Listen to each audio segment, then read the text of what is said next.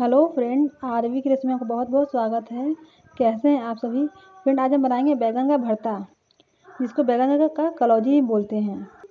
तो फ्रेंड, कलौजी बना, बनाने के लिए मैंने लिया है बैगन, सरसों, धनिया पाउडर, मेथी दाना, जीरा, लाल मिर्च, पुदीने की पत्ती और लहसुन। फ्रेंड, हम लोग मेथी दाना, धनिया पाउडर और जीरे को हल्का सा भून लेंगे। ये देखिए फ्रेंड मैंने जीरा को और मेथी दाना को भून लिया है और धनिया पाउडर को भी हल्का सा भून लिया है। फ्रेंड अभी हमारे मसाले जो है गर्म है, जब ये ठंडा हो जाएगा तो इसका हम लोग एक पाउडर बनाएँगे फ्रेंड फिर सारे मसालों जो है, इन सबका हम लोग एक पाउडर बना लेंगे और फ्रेंड इस पुदीना को भी हम लोग पीस लेंगे इसी मसाले में। मैंने सारे मसालों को भून कर पीस लिया है फ्रेंड और फ्रेंड इसमें हम डालेंगे हल्दी पाउडर टेस्ट के अनुसार नमक और फ्रेंड सरसों का तेल। और फ्रेंड इन सबको अच्छे से हम लोग मिलाएँगे।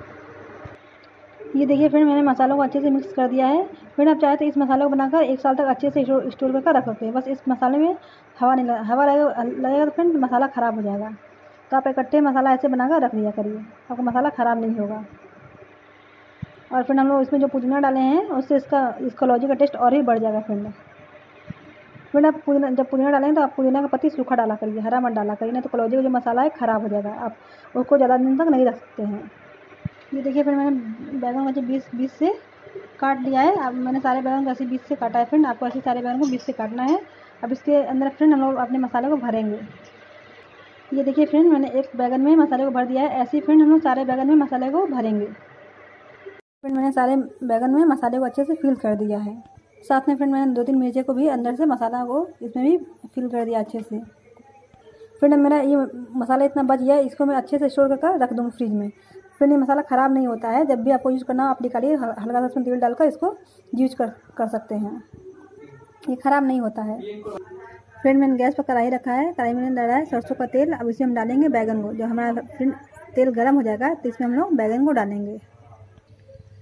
फ्रेंड तेल हमारा गर्म हो चुका है, इसमें हम डालेंगे बैगन को।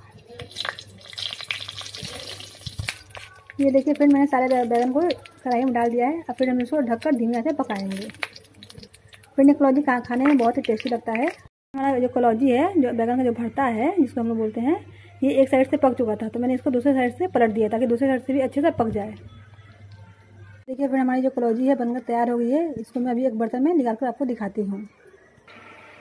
ये देखिए फ्रेंड हमारे टेस्टी बैगन एक कलौजी बनकर फ्रेंड तैयार हो गई है। फ्रेंड एक कलौजी खाने में बहुत ही टेस्टी लगती है। फ्रेंड आप इस कलौजी को बनाकर एक हफ़्ते तक अच्छे एक हफ़्ते तक रख भी सकते हैं। फ्रेंड अगर आपको मेरा रेसिपी अच्छा लगा हो तो प्लीज़ लाइक शेयर और सब्सक्राइब ज़रूर करिएगा। वीडियो देखने के लिए थैंक यू